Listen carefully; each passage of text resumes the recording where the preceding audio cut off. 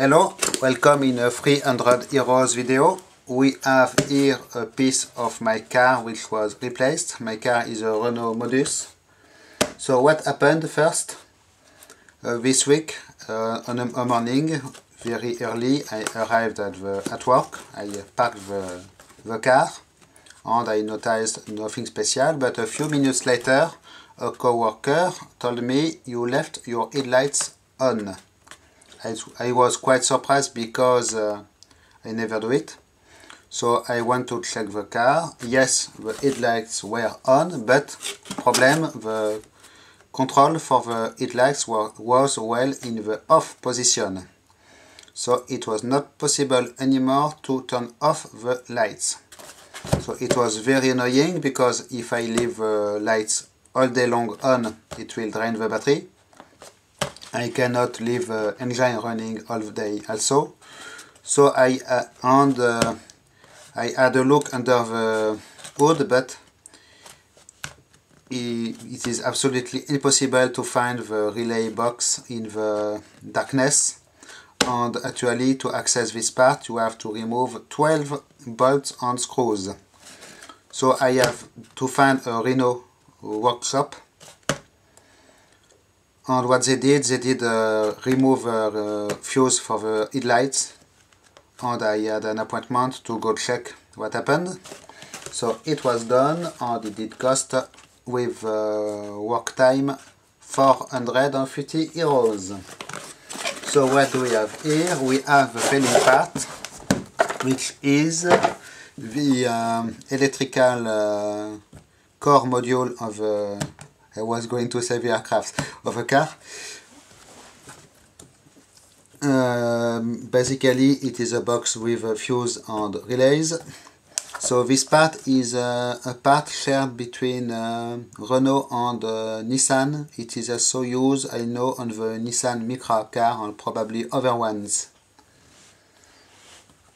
So the mechanic said uh, the relays could not be replaced and they had to replace the whole module. And also there are rumors on the web telling that the relays are soldered onto the PCB because uh, for me it was quite obvious. It may have been a relay problem. If the headlights are on it means the relay is closed. So either it is closed because it is stuck or because it receives a, a wrong uh, command and it remains uh, closed or there is a current leak or something as moisture uh, making a current leak and powering its coil so uh, about the relays, it is not true you cannot replace them. They are not soldered to the circuit board as people say on the web. You can uh, pull them out, but they are very hard to undo and they are not available in the spare, spare parts list for the car in fact. But they, are, they seem to be nice quality uh, relays from the nice Japanese brand made in Japan. There are only four contacts, two for the coils and two, uh, two contacts. So, uh, when the technician from the workshop gave me the box, he showed me this. So, apparently on this relay, for some reason I do not understand, the socket did overheat and did melt, but it did melt between the coil supply pin and the relay output pin. Not I would have expected if we had uh, another current problem or something, the two uh, coils corresponding to the contact melt, but not these two ones. And it is not very coherent with the problem of the headlights remaining uh, turned on. So it is quite weird. So about this relay, when I did first test it, it did test okay, but now it seems it really has a problem and it is remaining stuck. It is not powered currently and in fact, yes, it is because it is melted and in fact there is some play in this piece. So according to the position it will make the contact or not. So it may be the source of a problem of the car but anyway as the, the socket is melted it was not possible to reinstall another one and the manufacturer of the car says you, you do not replace relays, you replace the whole box. And it is why it was so expensive. So who manufactures this thing? I do not know. There is no manufacturer name. On the box for the replacement part it is written made in Romania but it does not say if the original part was made in Romania also. So to open it you have to cut these clips because if not you have to manage to have all the clips loose all around at the same time and I tried it was not uh, easy to do so I did cut them. There is this little lip here all around it is probably for fitting a cover over it for moisture but it was already enclosed in a, in a box under the hood. So it was not a problem for moisture but I saw on the web some people had uh, problems of moisture getting in this box. So in order to uh, undo the PCB inside I need to undo all the fuses. So I will they will not go back in place anyway but I will preciously keep these relays just in case I need one for the car. If another time it is really a failed relay problem and uh, the socket is not melted like so at least I will be able to repair it myself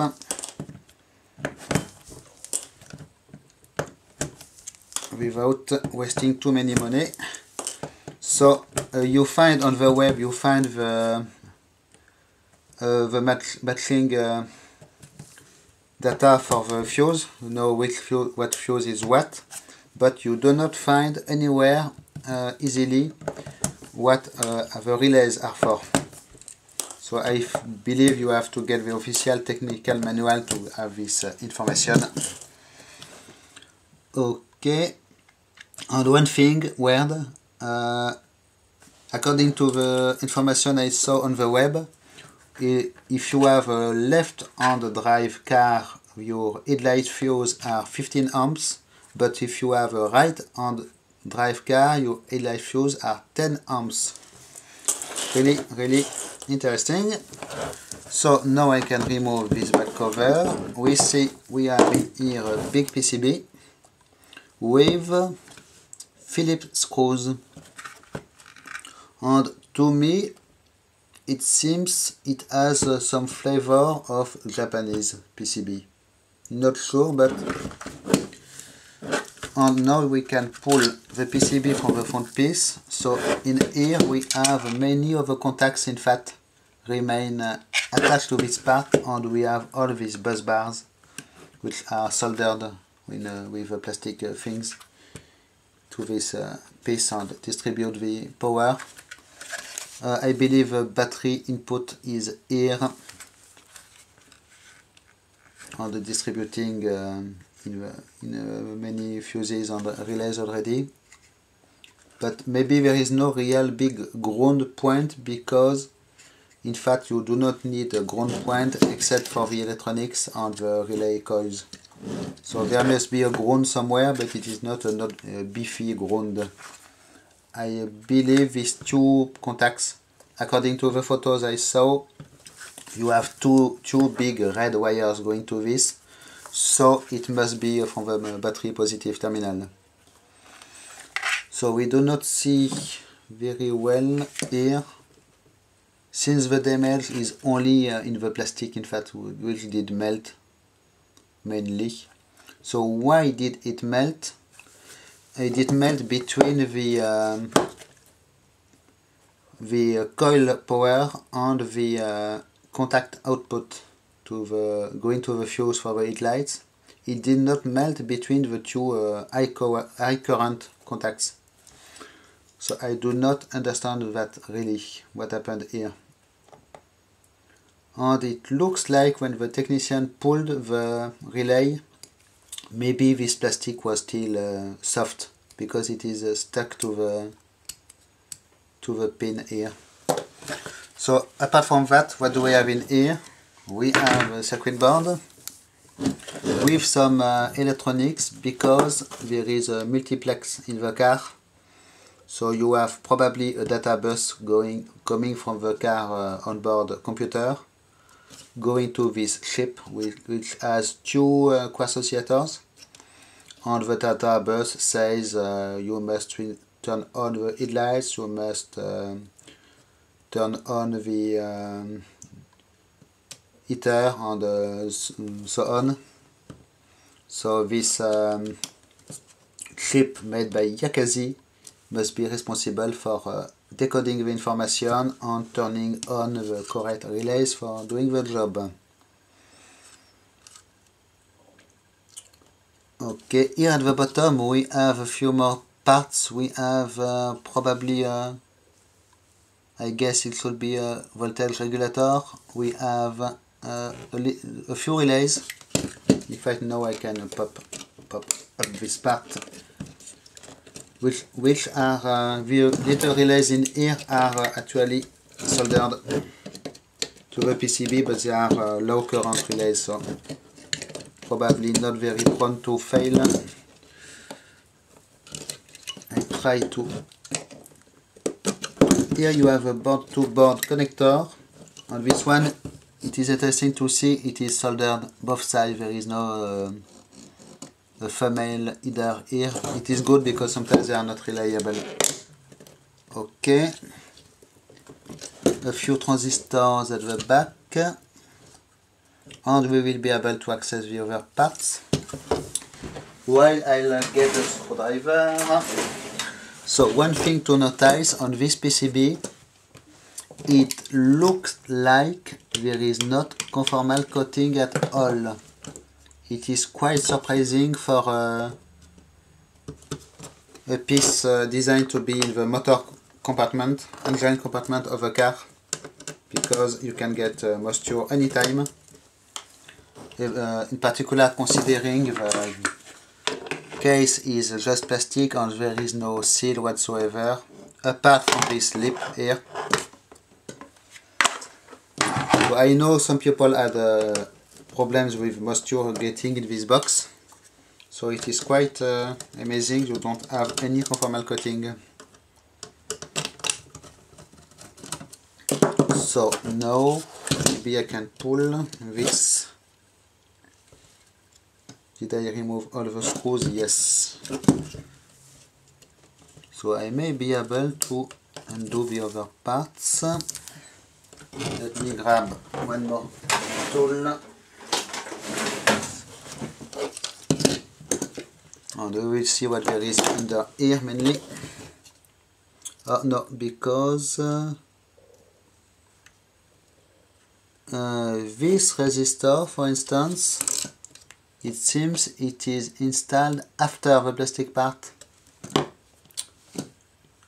Quite uh, weird but maybe this is yes this is a separate module. Okay.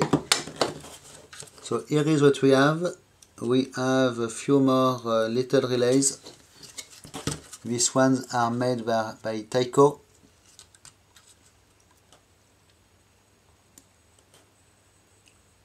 uh, some power transistor capacitor here in a little tray.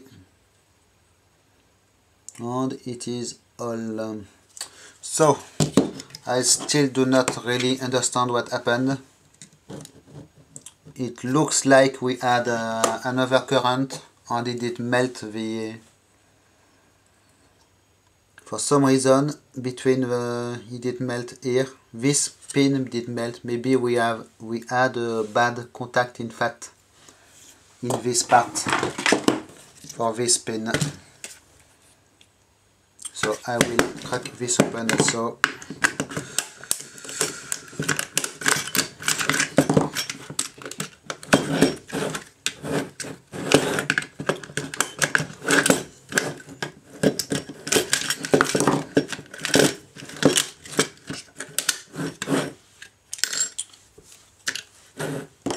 okay um,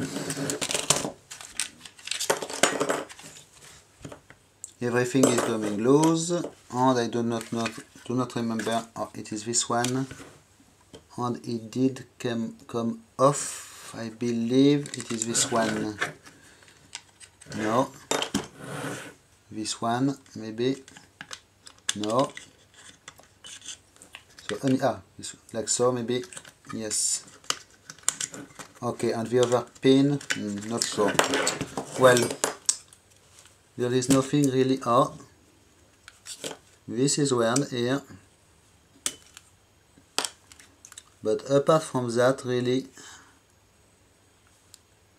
big bus bar as you can see. So I guess this little fork here did not uh, clamp enough the uh, which one do we have this one? Did not clamp enough maybe the relay pin. And